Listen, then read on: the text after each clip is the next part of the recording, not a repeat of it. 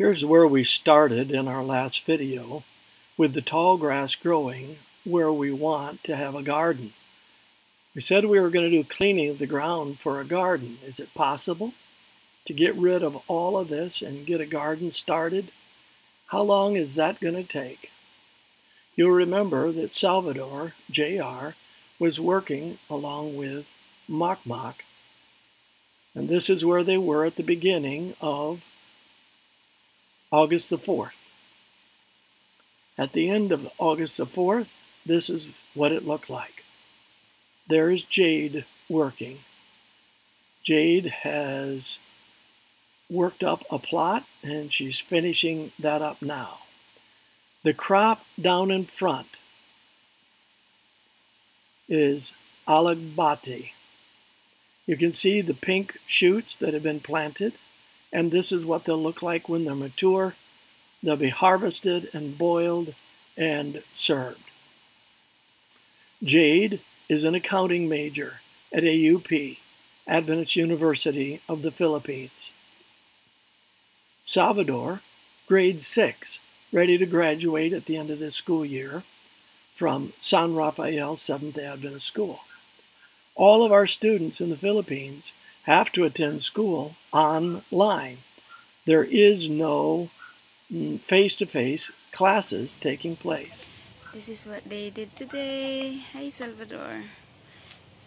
This is Jessa talking. And first day.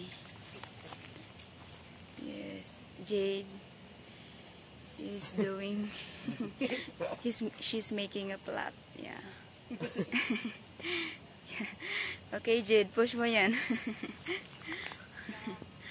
yeah. This is what I told you, Daddy. Plot. mm, Jade said that that was their um, work when there was when they were at Nagaview. And hi, Ma. Isang kita kada.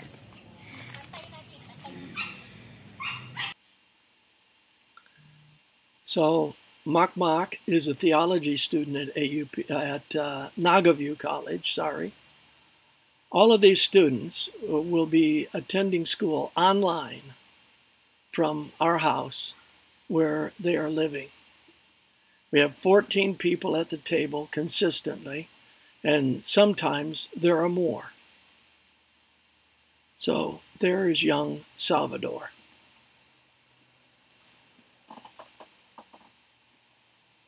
Salvador is observing this whole process and learning.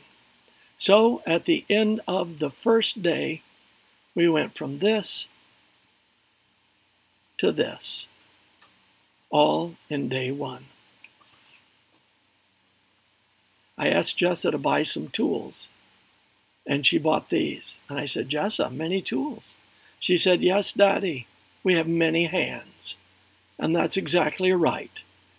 Many hands will be at work. Uh, each of the students living at the house will be working a period of time each day in the garden to help uh, support the table as well as to learn about this process so that if nothing else, they know how to plant and care for and harvest a garden. Jessa told me a story some time ago I may have shared it before. But their dad died when she was 13. She stayed home from the funeral and took care of Salvador, age one at the time.